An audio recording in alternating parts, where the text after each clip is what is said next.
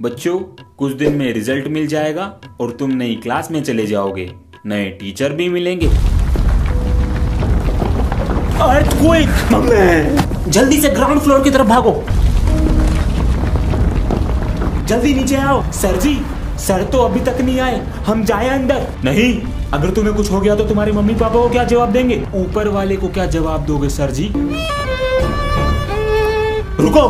Sir ji sir ji.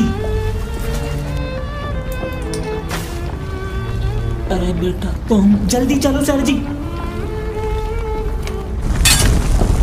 बेटा, तूने मुझे बचा लिया। सर जी, आप तो मम्मी पापा से बढ़कर हो।